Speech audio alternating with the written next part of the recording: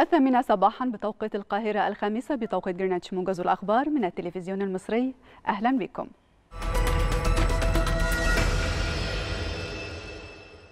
أكد الرئيس عبد الفتاح السيسي أن النصر السادس من أكتوبر عام 1973 هو اليوم الذي حولت فيه مصر الجرح وآلامه إلى طاقة عمل عظيمة عبرت بها الحاجز الذي كان منيعا بين الهزيمة والنصر وبين الانكسار والكبرياء. وخلال كلمته بمناسبة الذكرى الخمسين لنصر أكتوبر المجيد خلال الندوة التثقيفية للقوات المسلحة شدد الرئيس السيسي على أن في هذا النصر الفريد ما يستوجب الوقوف أمامه لسنوات بل لعقود وعقود للتعلم والتدبر. كما أكد الرئيس السيسي أن سيناء أمانة غالية في أعناق جميع المصريين بعد استعادتها وتقديم تضحيات جليلة من أجلها. وشدد الرئيس السيسي على ضرورة تعمير سيناء وتنميتها بما يتناسب مع طموح المصريين للوطن مشيرا إلى تضحيات أبناء مصر الذين سالت دماؤهم فوق هذه الأرض الغالية سواء لاستردادها من الاحتلال أو لتطهيرها من الإرهاب. عقد رئيس مجلس الوزراء مصطفى مدبولي اجتماعا مع ممثلي 30 من الشركات الهندية الكبرى.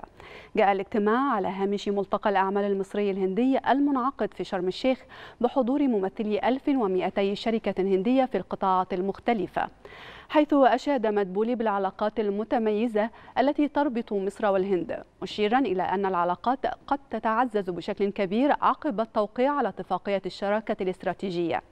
كما أكد مدبولي أن مصر والهند سيكون بإمكانهما تحت مظلة تجمع البريكس تعزيز شراكتهما الاقتصادية مشيرا إلى أن الهند تعد واحدة من أهم البلدان المستثمرة في مصر.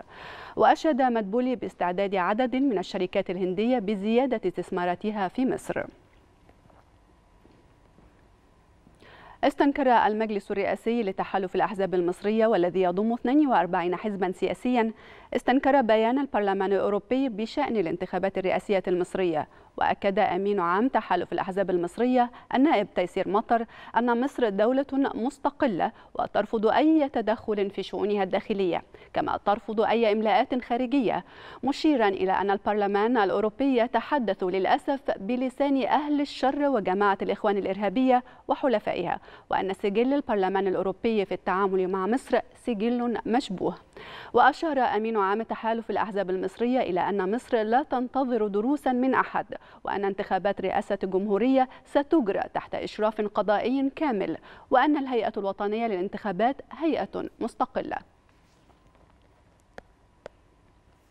أدان البرلمان العربي بشدة بيان البرلمان الأوروبي بشأن انتخابات مصر الرئاسية معربا عن رفضه التام لكافة أشكال التدخل البرلماني الأوروبي في الشؤون الداخلية للدول العربية ومؤكدا تضامنه الكامل مع مصر ضد أي تدخل يحمل افتراءات وأكاذيب مضللة لا تستند على أي حقائق أو معلومات صحيحة بينما تسعى فقط لإثارة الفتن وزعزعة الأمن والاستقرار بالمنطقة العربية.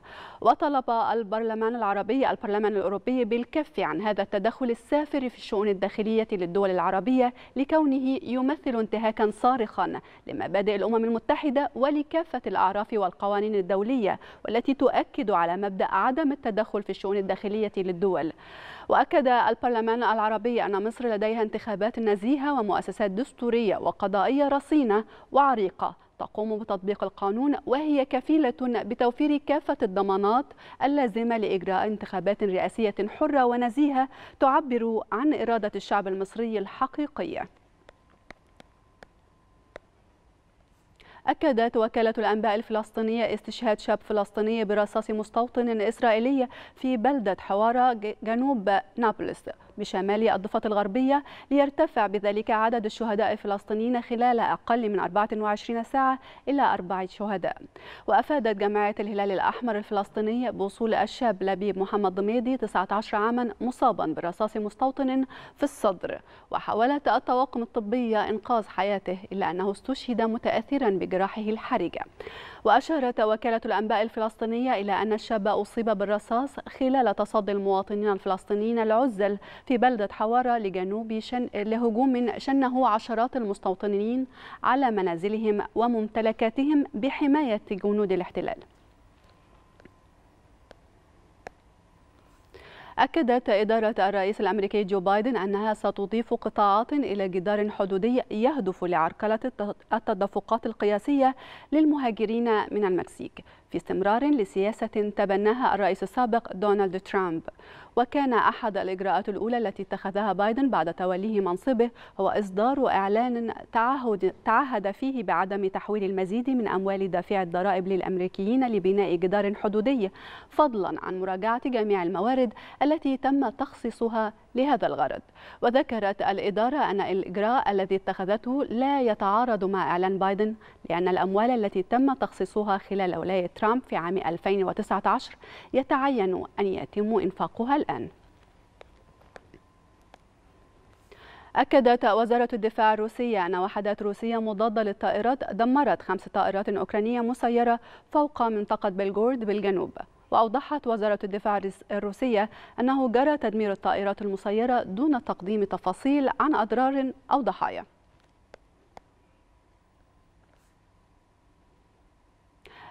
رياضيا أعلن البرتغالي فيتوريا المدير الفني لمنتخب مصر الأول لكرة القدم قائمة اللاعبين المختارين لمعسكر شهر أكتوبر الجاري والذي يتخلله إقامة مباراتين مباريتين وديتين أمام زامبيا والجزائر يومي الثاني عشر والسادس عشر من شهر أكتوبر الجاري بدولة الإمارات. ويأتي المعسكر في إطار الإعداد للتصفيات الأفريقية المؤهلة لكأس العالم وبطولة كأس أمم إفريقيا 2024 بكوت ديفوار.